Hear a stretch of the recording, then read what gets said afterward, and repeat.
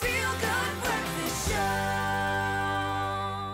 yeah, welcome back to it. It is your feel good breakfast show oh, on a yeah. Thursday Oh, yeah. morning. What's What's, what's your problem, guys? What up? What up? What up? He's like, oh yeah. Oh, Oh, yeah. yeah. That's how Expresso makes you feel. But listen, once you hear this, this might go make you go, oh yeah.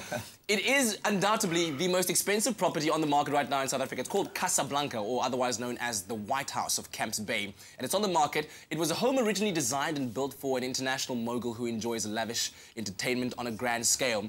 And guess, get this, just you're gonna, you're gonna swallow hard when you hear what it costs. Oh, my. 440 million rand. No, no. Rand. Wow. Rand, bro. Wow, Rand, 440 yeah. million. Randellas, randellas, bro. Really? Yeah. No, this is insane. You know, I always look at things like that and I think, how big and also why are they selling? Let, us drop some of the stats. This is Literally, it is actually bigger than the White House. And I've seen the White House recently, but get this 3,133 square meters That's the of property? sheer Opulence. ay, ay. Look at that. It features a reception room that can host up to a thousand guests and has eight bedrooms and 13 bathrooms. Okay, so I agree Just with the, the bathrooms. basics. I You like agree with the ba- bathrooms? Yeah, I want 13. Oh, that's good.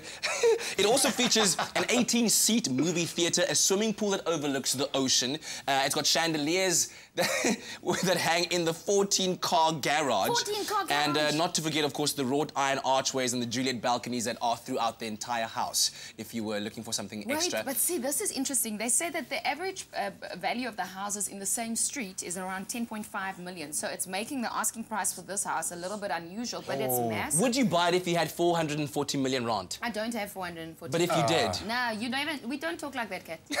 Shame. And, and major FOMO has just kicked in Yeah. on we that don't, street. We don't ask about these things. That's me.